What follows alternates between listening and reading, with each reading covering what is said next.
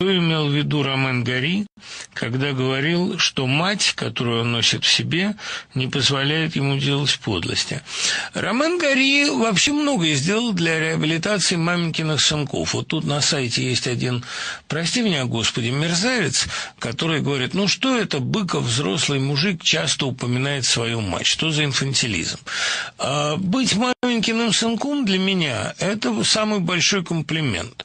А помните, у меня вот, если кто читал, у меня в квартале есть такой пассаж о том, что вот многие говорят, мы выросли без отца, и поэтому не имеем мужских навыков, и не умеем машину починить. А мы умеем многое другое, а машины нам чинят те, у кого были отцы. Вот это такая довольно, конечно, я не отождествляю себя с героем, с Иваном Солюшиным, но э, под этой мыслью я подписываюсь. Э, действительно, мне кажется, что у кого хорошие отношения с матерью, тот хороший человек. Во всяком случае, для меня это существенный критерий. Для Ромена Гори мать действительно очень серьезный нравственный ориентир. И скажу вам больше. Всякий раз, если я видел, что у кого-то из моих девушек с матерью конфликты и отношения плохие, и она о ней гадости говорит, я понимал, у нас ничего не выйдет. Я, кстати, вспоминаю к вопросу об этом, к вопросу о критериях. А, замечательный эпизод, я помню, его уже рассказывал.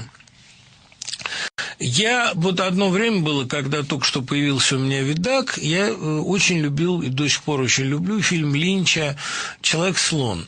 Если я девушку залучал в гости, я ей показывал «Человек-слона». И э, если ей нравилась картина, то ясно было, что у нас получится. А если нет, то ясно было, что мы друг другу чужие люди. Даже вот несмотря на то, что она осталась ночевать и смотрит картину, а вот все равно ясно, что это эпизод.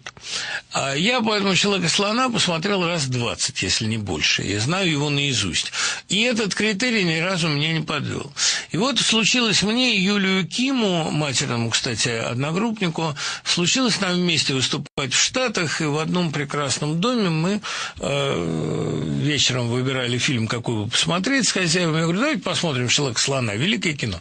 А Ким как раз его не видел. И вот мы стали смотреть. Он посмотрел и сказал, ну, первый план еще ничего, а вторую пошло слащаво, как-то не верю.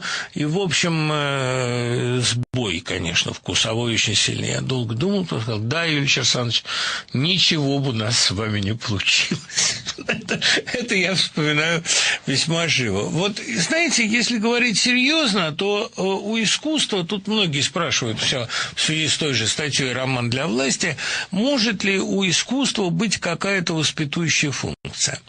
Ну, э, в общем, воспитующей нет, а подталкивающая есть. Вот Навелла Матвеева об этом говорила, что искусство ничему не учит. Всякое искусство совершенно ненавязчиво, перефразируя Альда, но искусство приводит.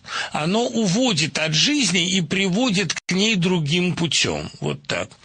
А, поэтому я не верю в воспитующую функцию искусства, но одна из его функций, самая важная, это функция парольная. Люди опознают друг друга по паролям. Вот если вам нравится одна и та же книжка, и один и тот же фильм, если вы плакали в детстве над одними и теми же вещами, вот это очень важная штука, понимаете? И э, вот от этой миссии искусства очень многое зависит в человеческом общении. Э, когда-то вот я Гора Вербинской спросил, почему, по-вашему, вы дружите с Деппом, что вы в нем находите? Он говорит, э, человеческие его качества здесь ни при чем, но нам нравится одна и та же музыка. И вот это критерий какого-то схода. Да, боюсь, что да. Я спросил, какая именно? Ну, медленный и тяжелый. Медленный и тяжелый металл. Вот да, наверное, то что-то такое психологически в этом есть.